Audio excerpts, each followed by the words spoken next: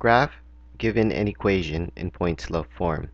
In this problem, we are given equation in point slope form and we are going to graph it. Step 1. Identify the point and the slope. So to identify the point and the slope, we must know the point slope equation, and it is y minus y1 equals m, our slope, times the quantity x minus x1. Then we're going to compare the two equations, y minus y1, and in this case, that is 3. m, our slope is 1 half, and x minus x1. And since this is plus 4, it is the same thing as minus negative 4. And minus a negative becomes a plus 4. So our point is x1 and y1, so negative 4 comma 3. And our slope is 1 half.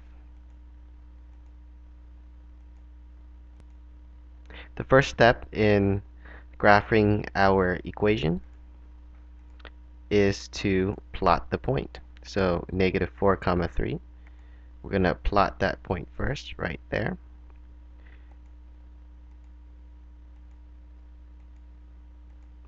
Then step 3, we are going to apply the slope.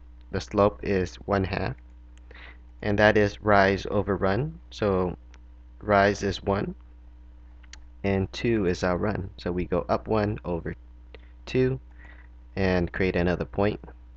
And finally, once we apply the slope and we have two points, we can create a line. And that is the line for the point slope equation given, and that completes our problem.